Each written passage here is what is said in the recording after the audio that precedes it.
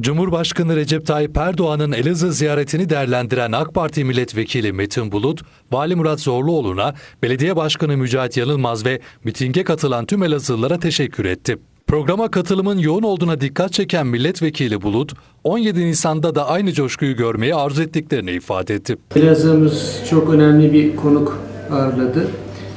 Cumhurbaşkanımızı ağırladık. Elazığ'da Cumhurbaşkanımız hakikaten hem Elazığ'ın çok sevdiği hem de kendisinin Elazığ'ı çok sevdiğini bildiğimiz bir lider.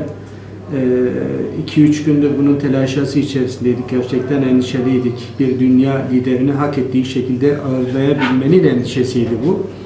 Allah'a hamdolsun e, kusursuz denilebilecek e, seviyede güzel geçti. Ben bundan dolayı başta Sayın Valimize, tüm teşkilatlarımıza, tüm teşkilat mensuplarımıza, organizasyon içerisinde yer alan herkese, Elazığ Belediye'mize ve özellikle bütün Elazığlı hemşehrilerimize çok teşekkür etmek istiyorum. E, hak ettiği şekilde hakikaten bir dünya lideri nasıl karşılanması gerekiyorsa aynı coşkuyla karşıladılar. Ta havaalanından çıkıp e, miting alanına gelinceye kadar yolların hepsi tamamen doluydu. Belki Elazığ tarihinde böylesine muhteşem bir e, kalabalık e, görmemişti.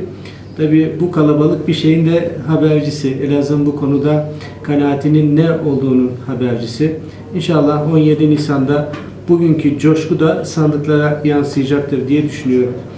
Ee, Ben Elazığ halkına hasreten çok teşekkür etmek istiyorum. Bizi mahcup etmedikleri için, uzak yakın demeden kalkıp mitinge geldikleri için, e, şartlarını zorladıkları için, reisimizle buluştukları için ben özellikle e, bütün Elazığlı hemşehrilerime çok teşekkür etmek istiyorum.